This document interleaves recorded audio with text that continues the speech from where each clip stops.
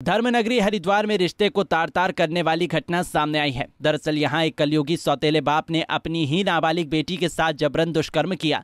इस मामले का पता जब पीड़िता की माँ को चला तो उसने बेटी के साथ कनखल थाने पहुंचकर अपने ही पति के खिलाफ तहरीर दे दी।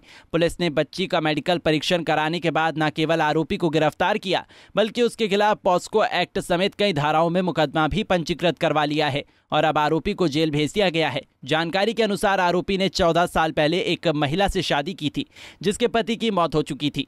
महिला के पास पहले पति से एक बेटी थी, जिसका लालन पालन तभी से पति पत्नी करते आ रहे थे। बीते सोमवार देर शाम घर पर लड़की अकेली थी। इसी दौरान उसका सौतेला बाप घर पर आ गया। बताया जा रहा है कि पिछले कुछ समय से लड़की पर बुरी नज़र रखता था। वहीं सोमवार को मौका देखकर उसने घर में अकेली लड़की के साथ जबरन दुष्कर्म किया और घर से फरार हो गया। कल ही ये मामला संज्ञान में आया था और तत्काल पुलिस द्वारा कार्रवाई करते हुए इसमें मुकदमा पंजीकृत किया गया।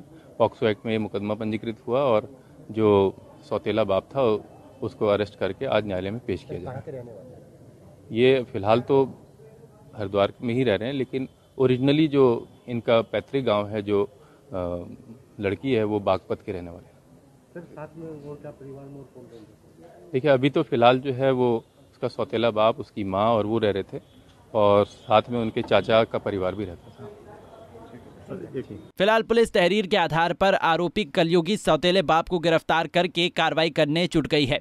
पंजाब के केसरी टीवी के लिए हरिद्वार से सतीश गुजराल की रिपोर्ट। हमसे जुड़े रहने के लिए हमारे YouTube चैनल को सब्सक्राइब करें और नई वीडियो की नोटिफिकेशन के लिए बेल आइकॉन को दबाएँ।